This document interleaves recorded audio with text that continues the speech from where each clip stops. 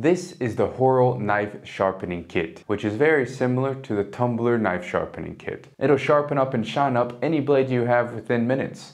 Okay, maybe not all of that, but it's still an awesome sharpener. Let's turn it around and I'll demonstrate how these work. This is the Horl knife sharpening kit. It's actually the Horl 2. And what you get with the Horl 2 knife sharpening kit is a knife sharpener with a diamond coated 46 micron grinding side, a ceramic honing side, a magnetic knife holding block that has a 15 degree angle and a 20 degree angle. In the box you also have an instruction manual and a quick start guide. The outside is made of wood and has a very nice Horl 1990 1993 engraved symbol. The magnetic angle support is also made of wood, but a very light wood, very, very light wood, but has very powerful magnets on both ends of the 20 degree and 15 degree sharpening side. Now you'll want to use the 15 degree side for any Damascus steels or any high quality carbon steel knives that you're sharpening and the 20 degree for your normal everyday use kitchen knives, your stainless steel knives, and probably your everyday carry knife. Now a 20 degree angle is more robust than a 15 degree angle,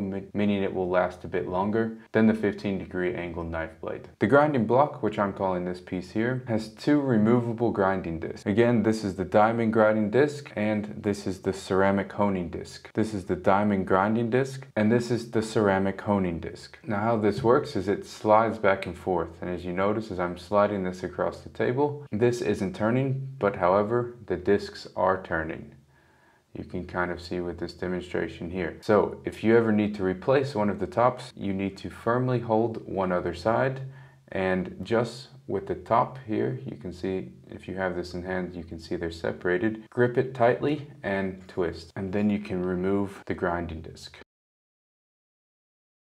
It's kept together just by a screw and easily screwed back into the top. Now when you first get this, these might not be in tight, so I would suggest giving them an extra little twist, otherwise they might fall off while you're using them. Again, both sides come off. To use this is very, very simple. First, you choose which angle you want to use. I will demonstrate my kitchen knives today, so I will use the 20 degree angle side. I'm going to demonstrate three different types of knives. This is your normal chopping knife, and you set this flat on the table, and then line up your kitchen knife, then it is magnetically stuck to the angle block. Now this magnet is very strong. I can push against it quite hard in this direction and it's not really going to fall off. So don't worry about this falling off. It's very, very sturdy. First, you'll start off with your diamond grinding edge and you'll grind this until a slight burr is formed on one side of the knife. You do a back and forth motion for as long as it takes, really. This could be one minute or two minutes.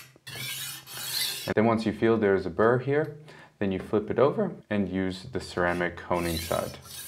You only do this a couple times to dislodge any burr. Then you'll flip the knife around carefully and attach it again and repeat on the other side.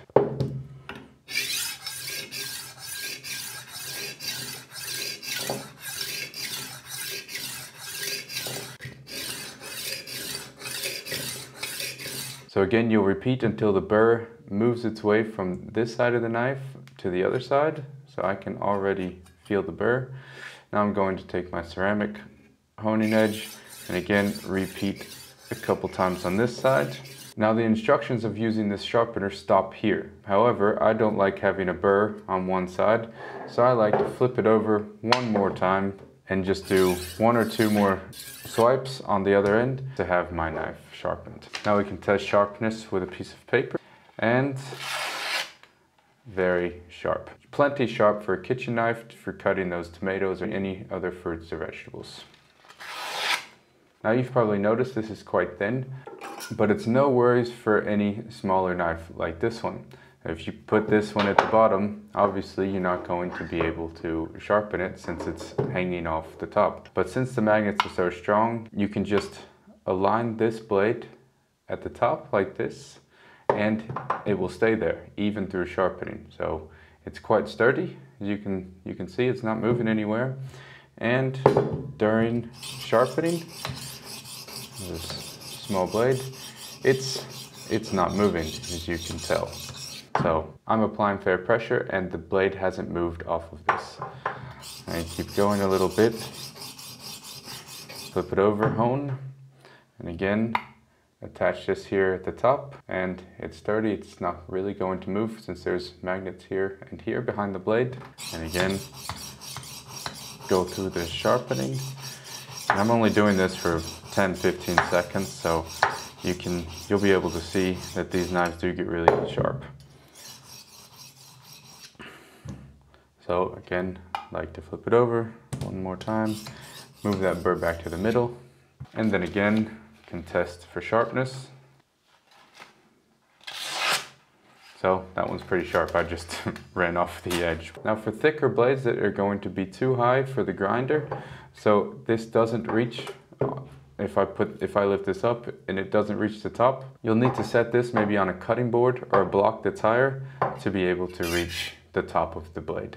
And that's it, very straightforward with this knife sharpener. Now I think this grinding kit is perfect for any home cooking enthusiast. You definitely have knives in your kitchen that need to stay sharp, and rather than using a knife sharpening wand, this kit will allow you to have a perfect edge every single time. It only takes a few minutes to sharpen your knife, so for me, it's very worth it. Now I've seen online there's another knife sharpening kit very similar to this called Tumbler. As far as I can tell, they're exactly the same. I can't speak for the quality of the surface on the other one, but this one is definitely top notch. The magnets on the angle holding block are also very powerful. I've seen and read that on the other ones they are as well, but again, I can't speak to it. But on the Horl, they are very, very strong, and the grinding and honing tool is top quality. After using various sharpeners before, including stone grinding, the wand grinder, the V-shape slide through sharpeners, which are like pulling nails on a chalkboard, this is by far my favorite sharpener I've ever used. It's very simple to set up, very simple to use, and there's no maintenance required. Now I know some of the upper echelon knife workers and sharpeners that swear by stone grinding. This product obviously is not for you. This product is for the person that's at home